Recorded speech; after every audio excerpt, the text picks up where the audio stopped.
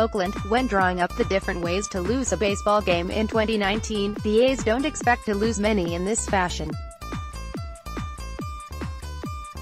After six shutout innings from Marco Estrada and a two-run home run by Khris Davis appeared to have the A's on track to victory, a rare implosion by the bullpen derailed them in Friday's 6-2 loss to the Los Angeles Angels.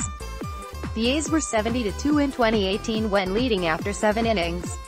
They are now halfway to that loss total in such situations after four regular season games in 2019.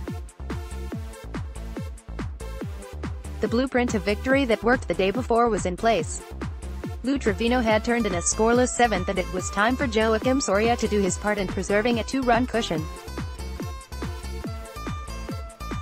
But he immediately ran into trouble to begin the eighth as he surrendered three consecutive hits to cut the A's 1-3 lead to 2-1 at the time.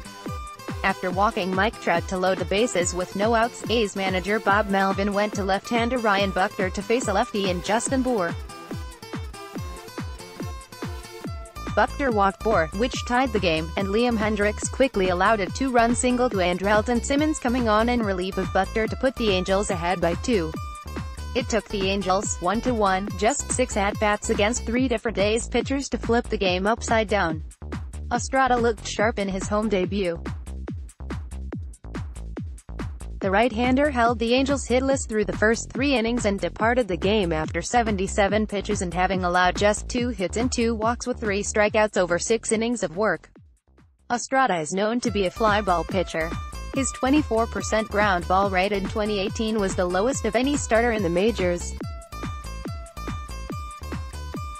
It's a style that can create problems in stadiums where the ball really travels, like what happened to him at the Tokyo Dome last week against the Seattle Mariners when he allowed two home runs over five innings.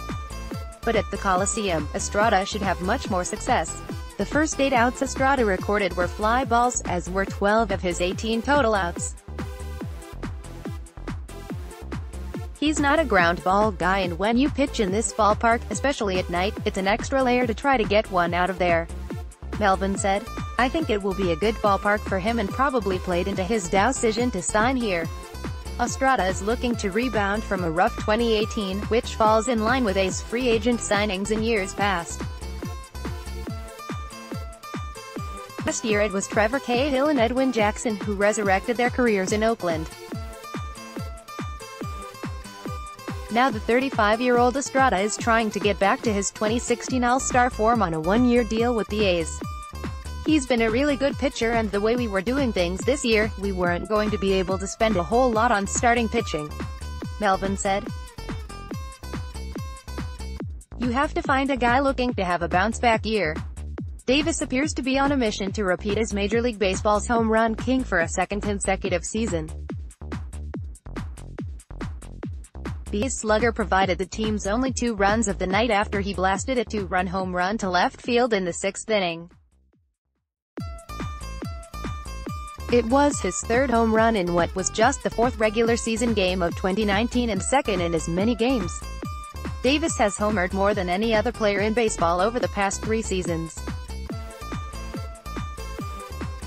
Most of those balls go to the opposite field, but Davis's homer off Matt Harvey was pulled to left and landed well beyond the left field scoreboard. His homer on the day before was also a majestic shot to left that landed in the second deck of the Coliseum.